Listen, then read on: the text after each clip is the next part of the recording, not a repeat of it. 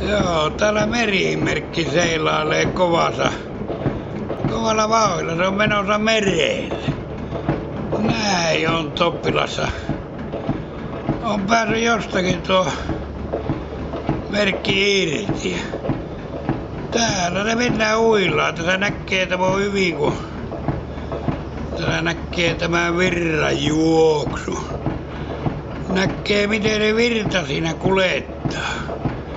Näin se on. Siinä moni katsoo, että siinä on tyyni, no tyyni ja se vesi on, mutta on nää virta. Siinä pääsi nyt. Jos tuo vauhti riittää, niin pääsi Ruotsiin asti. Oi, että menee hienosti. Se menee noin luija.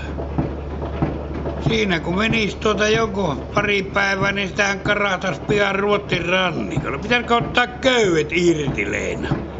Joo, kato nyt. Nui uimaa vauhtia pääseminen. On kovat vauhit. Nui sinä merkki seilaa. Vai onko ne nykyään uivia nämä merimerit niin, että ne seilaa ne mihin ne haluaa? Ne on etäohjattavia. Joo. Se voi olla.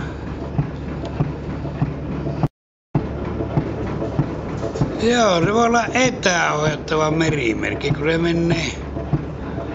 Se vaan jatkaa tuonne merelle menua. Niin se tekee.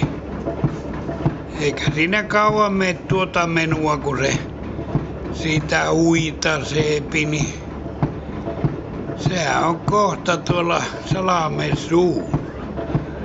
Tuo pitäisi kyllä ilmoittaa jollekin, että siellä seilaa merimerkki.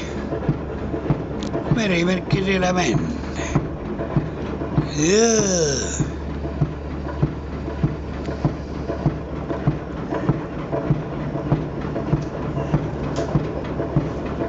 On se. Melkoista vauhtia se kulkee siinä